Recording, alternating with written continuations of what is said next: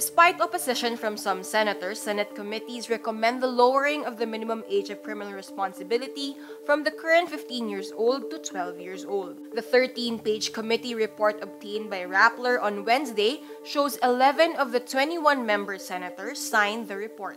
Those who signed are Dick Gordon, Loren Legarda, Cynthia Villar, Ping Lacson, J.V. Ejercito, Manny Pacquiao, Mig Zubiri, Chiz Escudero, Joel Villanueva, Gringo Honasan, and Ralph Recto. Those who did not sign the report are Senate President Tito Soto, Frank Drilon, Risa Hontiveros, Bam Aquino, Nancy Binay, Kiko Pangilinan, Sherwin Gatchalian, Grace Poe, Koko Pimentel, and Sonny Trillanes. Gordon is set to sponsor the measure on Monday. Under the measure, parents of children in conflict with the law will be held liable and will suffer the penalty of prisión correccional in its minimum period to prisión correccional in its maximum period. The House of Representatives already approved on final reading its version of the bill.